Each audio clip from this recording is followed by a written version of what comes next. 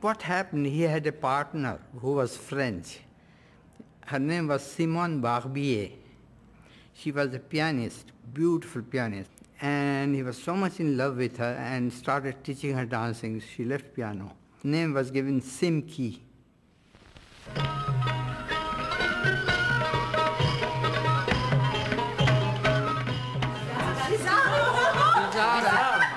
Bizarre instrument. really, can you imagine? 1932. Wow. Simkie.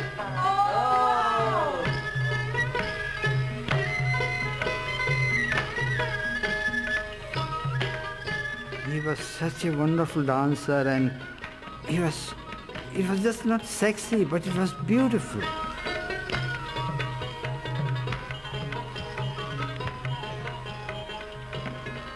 This is me.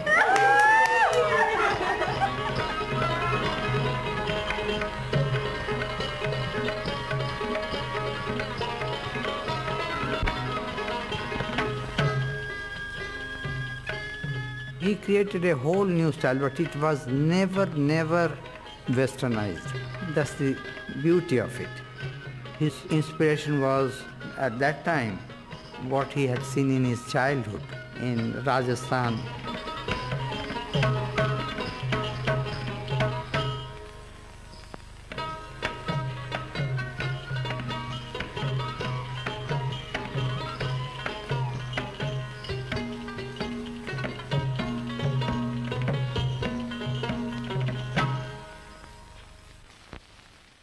Wow.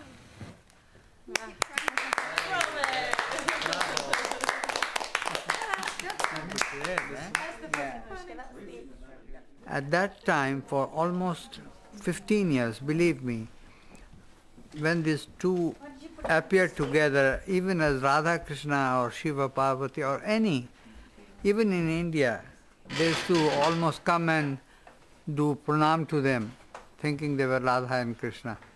Yeah, it, it is due to him that we are all here.